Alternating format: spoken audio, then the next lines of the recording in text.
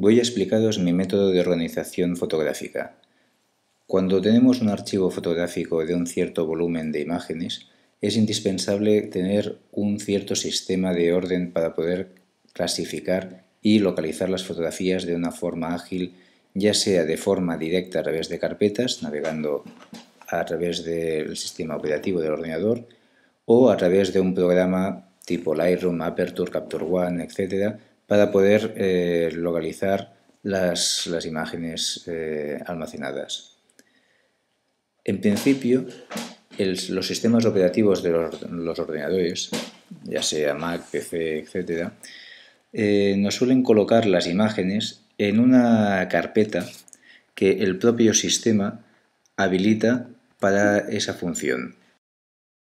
Esta carpeta podemos encontrarla dentro del propio usuario del sistema operativo y normalmente en una carpeta que se llama imágenes, mis fotos o algo parecido.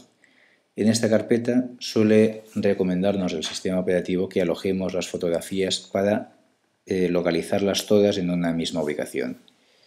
Este sistema mm, no suele ser muy recomendable, a menos que tengamos muy poquitas fotos, ya que de entrada ubicamos todas las fotografías dentro del mismo oh, disco duro en el cual tenemos el sistema operativo y los programas, con lo cual el rendimiento del ordenador a nivel profesional o a nivel de agilidad no es precisamente muy práctico. Por otro lado, a nivel de copia de seguridad, eh, si colocamos las imágenes dentro de esta carpeta, la ruta a indicar al, sistema de backup, de copia de seguridad, va a ser mucho más rápido y en caso de desastre para localizar la ruta de la carpeta va a ser mucho más complejo para un sistema de, recuperación de imágenes poder localizar dónde están las fotografías que si la tenemos en una carpeta directamente en la propia raíz del, disco duro, es decir, directamente en, en un disco duro distinto. Por otro lado, hemos de intentar evitar colocar las fotografías dentro del escritorio, ya sea mm, de modo que las tengamos sueltas en el escritorio o dentro de una carpeta, porque ello también nos va a dispersar las imágenes. Por lo tanto, es muy recomendable siempre concentrar todas las imágenes en una o en varias carpetas, si no caben todas en un mismo, en un mismo disco duro, separados en varios discos, pero intentar que todas las, todas las fotografías estén dentro de una misma carpeta que esté dedicada a fotografías. Y aparte de esta carpeta pueden haber otras carpetas que eh, tengamos alojado otro concepto que no sean fotografías.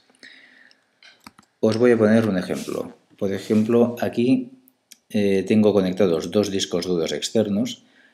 Uno, el disco Fotos 1, en el cual tengo colocadas todas las fotografías desde anteriores al año 2000 hasta el año 2012 y después conceptos sueltos que tengo por archivar, catalogar o por otros conceptos que no sean fotografías.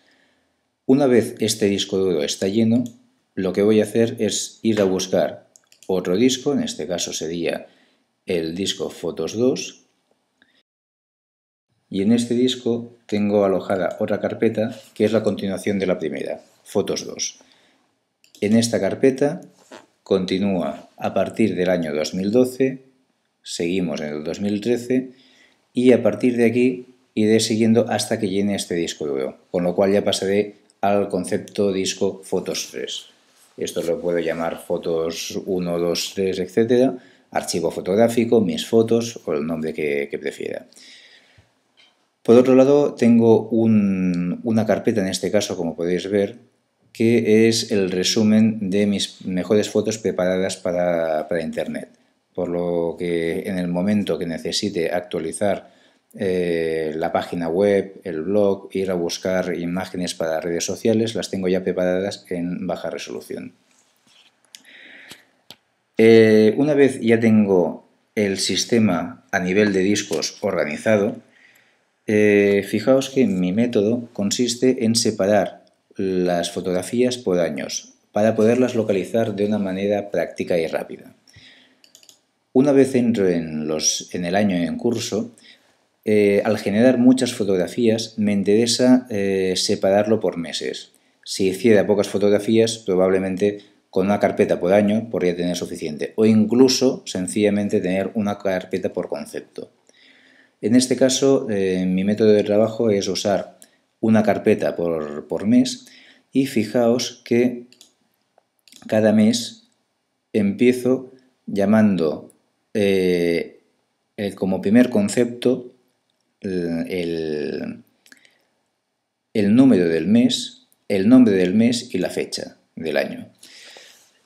¿Por qué hago esto? En principio parece redundante, pero por ejemplo, eh, si no lo ordeno por una. no empiezo ordenándolo por un concepto numérico, el ordenador puede eh, pasar a generar un error y enseñarme las imágenes por orden alfabético, por lo cual el primer mes no sería enero, sino sería abril, cosa que no me conviene.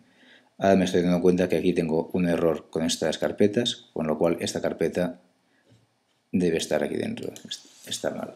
Pero lo arreglaré por el programa, no por el sistema operativo, porque al usar una base de datos con el programa, en este caso Lightroom, rompería el vínculo a las imágenes.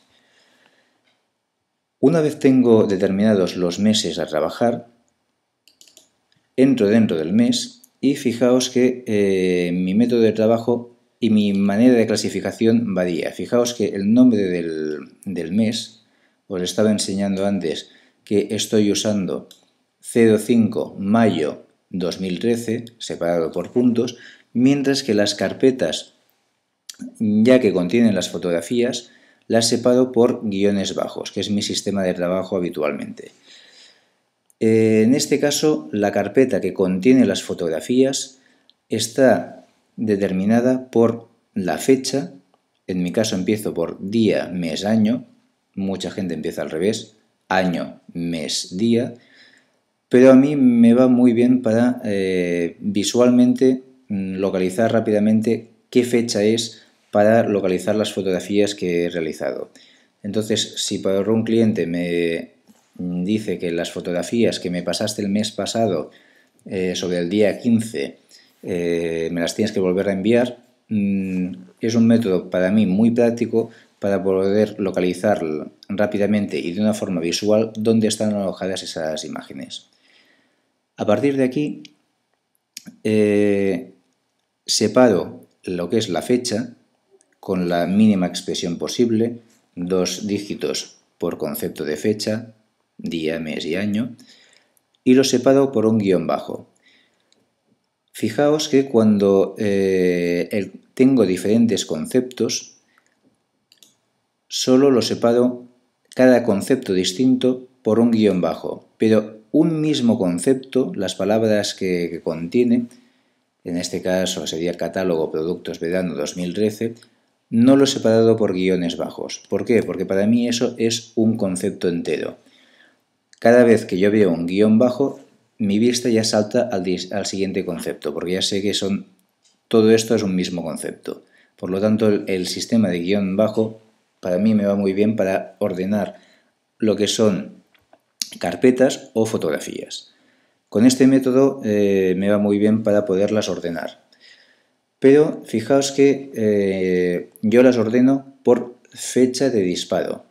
Pero me puedo encontrar que una misma sesión esté realizada a un cliente y empezada un día 1 de un mes y continuada el día 17. Y pertenecen las, dos, los dos grupos de fotografías a la misma sesión. Por lo tanto, eh, los puedo juntar, pero me puede crear molestias o dificultades de localización de las imágenes a posteriori. Por lo tanto, eh, prefiero dejarlas siempre por la fecha de, toma y en cualquier caso generar a través de un programa de base de datos como Lightroom eh, una carpeta virtual donde las mezclaré las imágenes, pero no por las carpetas físicas.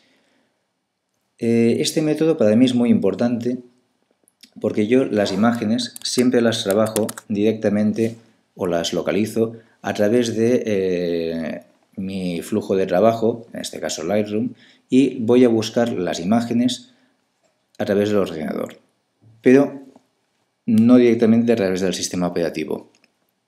Por lo tanto, puedo localizar las fotografías directamente por la propia estructura del árbol de carpetas o puedo irlas a buscar directamente por eh, lo que Lightroom le llama colecciones, que son eh, carpetas virtuales.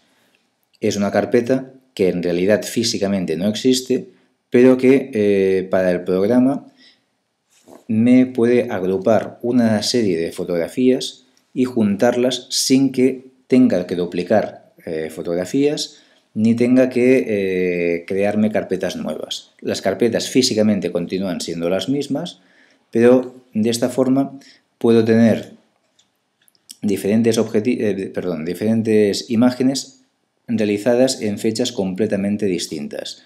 Aquí, por ejemplo, en esta carpeta tengo imágenes del 2009, eh, del 2003, del 2012. Así puedo irlas mezclando sin necesidad de cambiarlas físicamente de su ubicación principal. Por lo tanto, además, tengo la posibilidad de generarme carpetas como eh, clasificaciones de las fotografías que están en la página web, mis mejores fotografías, eh, fotografías usadas para un curso, eh, las puedo clasificar y repetir tantas veces como quiera sin repetir los ficheros, con,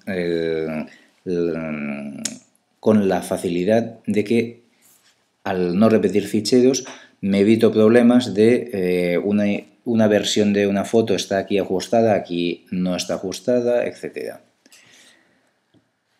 Esta opción la tengo tanto en Lightroom como en Aperture, como en Capture One, como en la mayoría de programas y me permite crear selecciones de fotografías de una forma muy rápida y muy limpia.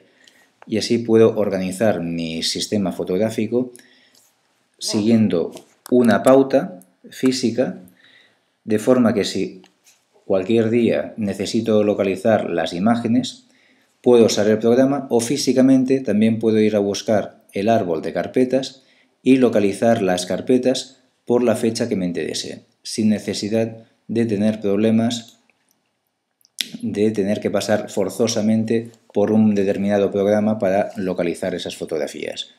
Aunque esté en un programa distinto, en un ordenador distinto, igualmente físicamente esas carpetas ya existen, ya están separadas por conceptos y las podré localizar siempre que me interese. Gracias.